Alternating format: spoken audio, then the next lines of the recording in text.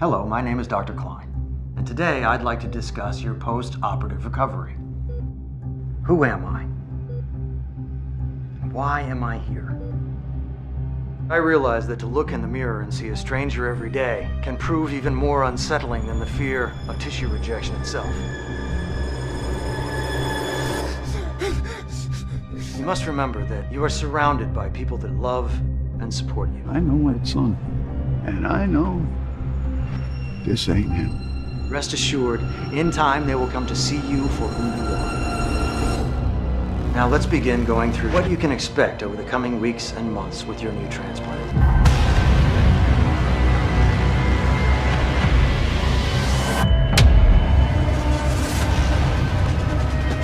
Sometimes a little pain can help you feel like yourself again.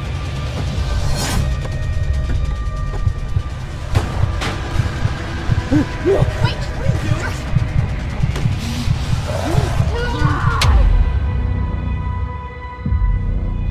hide from your demon.